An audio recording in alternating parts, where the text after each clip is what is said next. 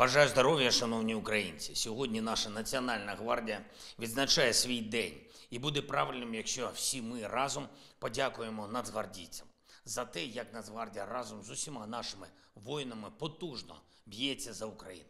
Подякуємо за міцність і силу у битві за Донбас, за оборону Бахмута та Авдіївки, за героїчний захист Маріуполя і Азовсталі, за бої на Луганщині, за бої на Київщині, за битву за Київ. Разом з усіма силами оборони та безпеки України гвардійці гнали окупанта з північних областей нашої держави і з Харківщини. Тримають оборону на півдні, на Запорізькому напрямку.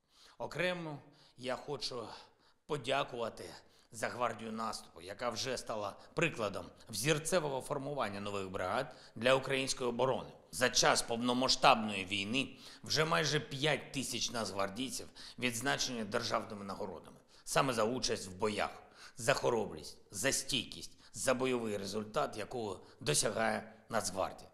32 бійця Нацгвардії удостоєні звання Герой України.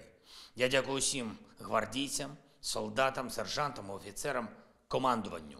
Дякую всім, хто допомагає підрозділам Нацгвардії, хто тренує бійців, забезпечує їх усім необхідним, допомагає із лікуванням після поранень, із реабілітацією.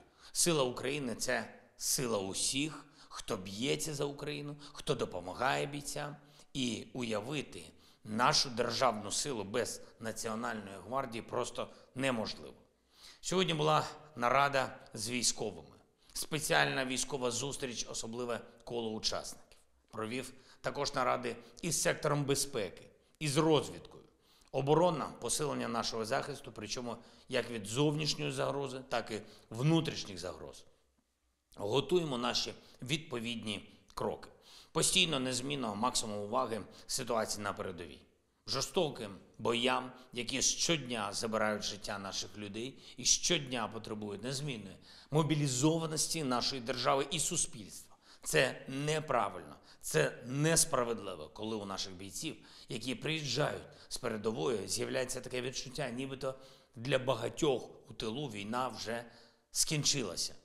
Для тих, хто не просто далеко від Донеччини чи Нікополя, від Салтівки, від прикордонних районів Сумщини, від Запоріжжя, а хто подумки далеко від окопів, від щоденного болю українців.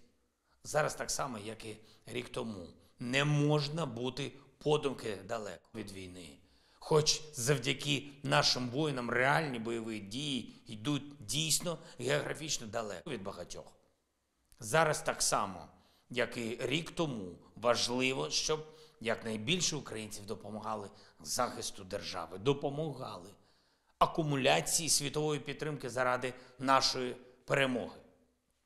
Дорогі українці, підтримуйте наших бійців завжди, коли це можливо. Не забувайте і про збори волонтерів і долучайтесь, коли маєте змогу. Дуже важливо, щоб усі, хто має інформаційний вплив, брали участь в інформаційній роботі.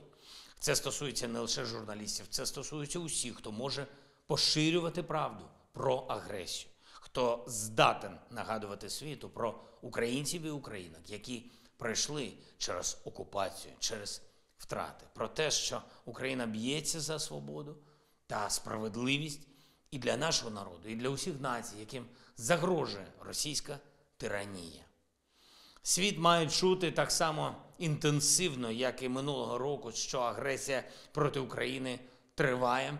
Має чути, що припинити війну вже цього року, звільнити Україну від російського зла вже цього року це спільне завдання цивілізованого світу. Бо цивілізований означає, зокрема, й рішучий захищати цивілізованість.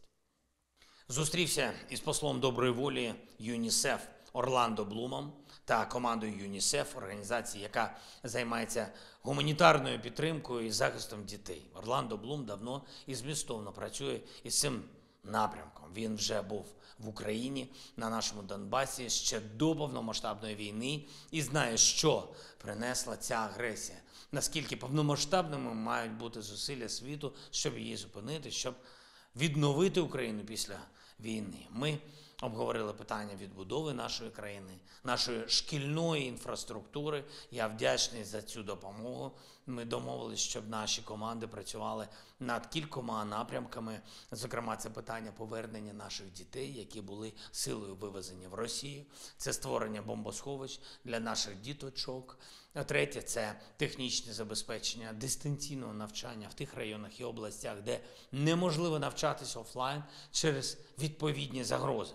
Сьогодні, як і завжди, відзначу наших воїнів, які дали вагомий результат Україні за минулу добу, за цей день, загалом за цей тиждень. 57-ма окрема мотопіхотна бригада, 5-та окрема штурмова бригада і 93-я окрема механізована бригада. Молодці хлопці, дякую вам за вашу силу. Морпіхи 35-ї і 36-ї окремих бригад, бійці 55-ї артилерійської бригади Запорізька Січ.